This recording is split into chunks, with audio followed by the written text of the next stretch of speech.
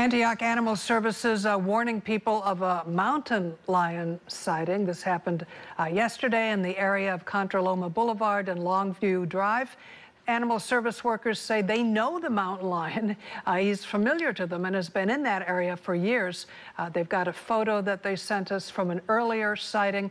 Local residents being reminded to avoid walking alone at dusk or dawn when mountain lions are the most active. Bart Ryder.